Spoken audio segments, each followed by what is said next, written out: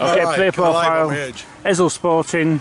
Name, Ben Hamilton, age, 35, playing position. goalkeeper.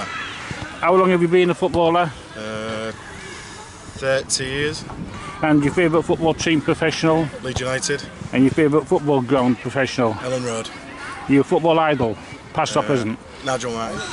Have you? How long have you been at your present team? Uh, this is my third season.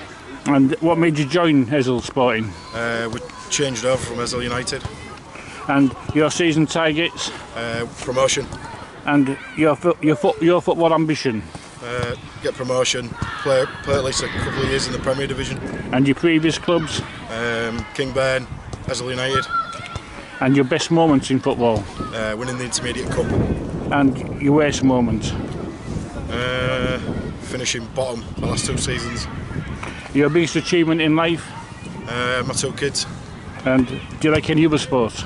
uh, like a bit of golf, Who's your favourite golfer? Ooh, Tiger, You got any family in sport? no, And when rugby league, when white, black and white or neither? black and white. And you remember my Facebook group? I am, yes. Thank you very much.